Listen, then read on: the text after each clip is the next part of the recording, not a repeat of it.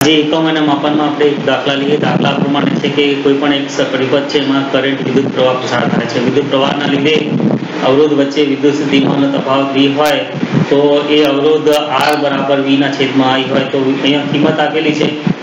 વી અને i ની કિંમત આપેલી છે. એના પરથી આપણે r નો અવરોધ નો પ્રતિસાદ તૂટી આપણે મેળવવાનો છે. આ પ્રતિસાદ તૂટી મેળવવા માટે આપણે ધારો કે અહીંયા આપેલું છે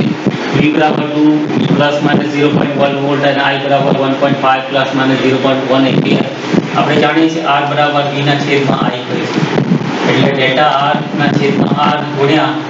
સો બરાબર ડેટા વીના છેદમાં વી વત્તા ડેટા આઈના છેદમાં આઈ ઇન્ટુ હંડ્રેડ વત્તા ડેલ્ટા i ના છેદમાં i into 100 આને સોલ્વ કરતા ડેલ્ટા v કેટલું છે અહીંયા આ 0.1 ભાગ્યા 2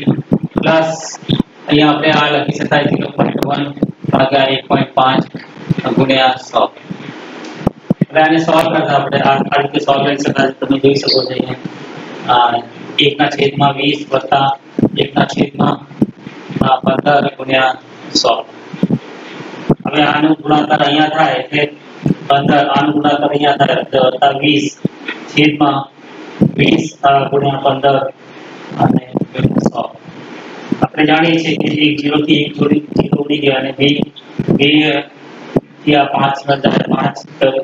ત્રણ થી જાય એટલે ત્રણ હવે તમે જાણો છો વીસ વત્તા પંદર એટલે પાંત્રીસ ભાગ્યા ત્રણ હવે ત્રણ થી એક જાય એક જાય એટલે છ આઠ ટકા આટલો થઈ ગયો એટલે આ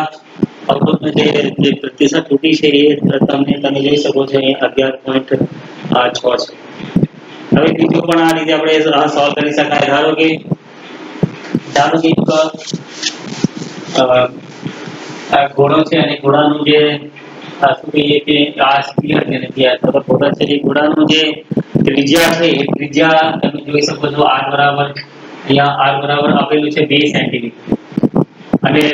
એમાં જેનું જે પ્લસ અને minus zero point one centimetre હોય તો ઘોડાનું છે એ પદમાં પ્રતિશત તૂટી આપણે મળશે ઘોડાનું જે પદમાં પદમાં જે અ, પ્રતિશત તૂટી છે એટલે આપણે જાણીએ છીએ b upon four by three pi r નો ઘન એટલે ડેલ્ટા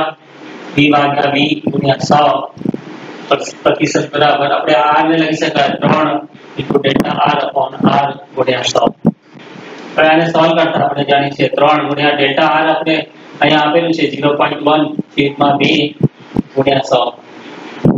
એટલે એક જીરો થી એક જીરો અહીંયા નીકળી જશે એટલે ત્રણ ભાગ્યા બે ગુણ્યા દસ એટલે ત્રણ ભાગ્યા બે એટલે એક પોઈન્ટ પાંચ ગુણ્યા દસ એટલે પંદર ટકા એટલે આના જે પંદર ટકા છે એના પદમાં છે એ અ, પ્રતિશત તૂટી એ આપણે કરી શકાય છે